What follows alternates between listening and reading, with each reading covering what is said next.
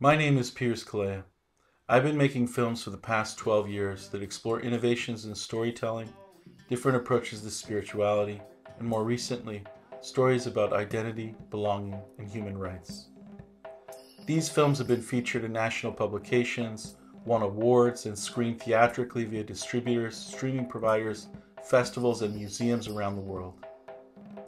Each of my films have touched upon the controversial, countercultural, and unheard, and because of this very nature, have relied on crowdfunding and support from individuals like you that believe there's a need and benefit to hearing the underrepresented. My current project, My Room in Tehran is Called America, is a documentary feature that details a female Iranian artist's journey to a life without censorship in modern day Iran. Havah, a female Iranian artist, is torn between staying in a country and culture she has always known and leaving for the United States to finally be afforded a life without censorship. Toiling during the day in one life and journaling at night to dream in another, the film documents her struggles, first in Iran, then Istanbul, where she waits for a visa to America parts memoir, travelogue, and love story. My Room is a real life handmaid's tale that lifts the veil on a woman faced with a difficult choice on her journey to freedom in modern day Iran. We are currently trying to raise $10,000 in funds to pay for air travel, lodging, camera and sound equipment, and other production related expenses.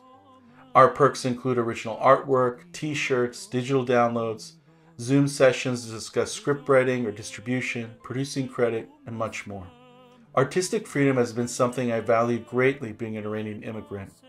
I recognize the sacrifices my parents made coming to the United States shortly before the Islamic Revolution.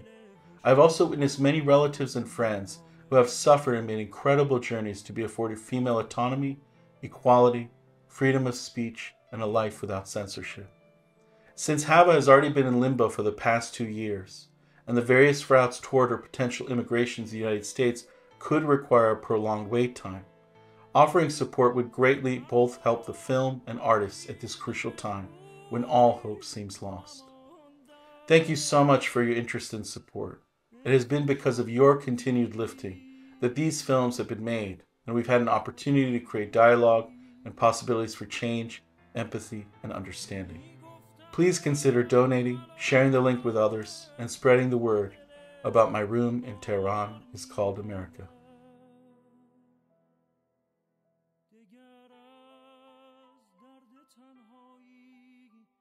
yo